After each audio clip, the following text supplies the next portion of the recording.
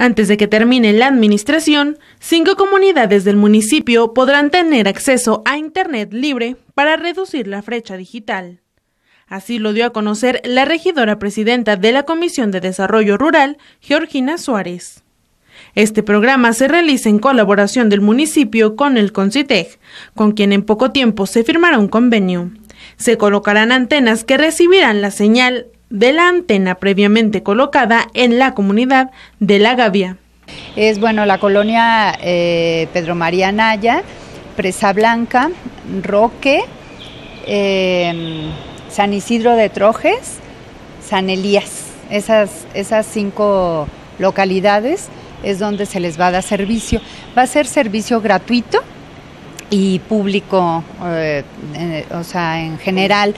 Generalmente, el servicio de Internet estará habilitada en plazas o espacios públicos que tengan cada uno.